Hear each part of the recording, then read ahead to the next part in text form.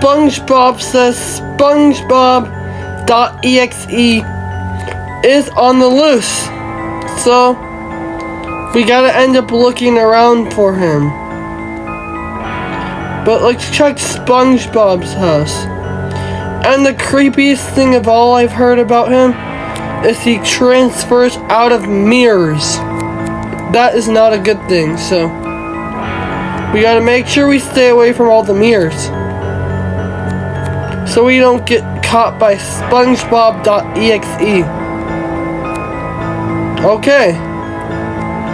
I will do exactly that. Hmm. Is he in here? No.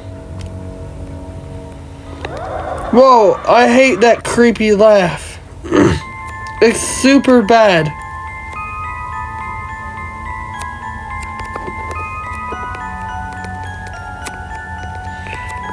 Okay. I guess he's not in SpongeBob's room. Or is he? Oh shoot, I hear something.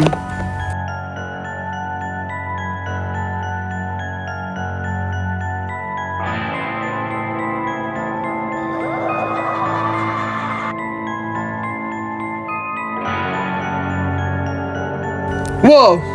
I think I heard that from the roof. Let's go up there. Well, I swear he was just here. Wait, but all these cows and stuff are mooing at me. That means SpongeBob.exe has done something to SpongeBob's animals. That's not good news, guys. Now it's raining. Okay. Oh, I think I... I'm gonna go see SpongeBob. I think he just got home. I'm gonna go let him know the news.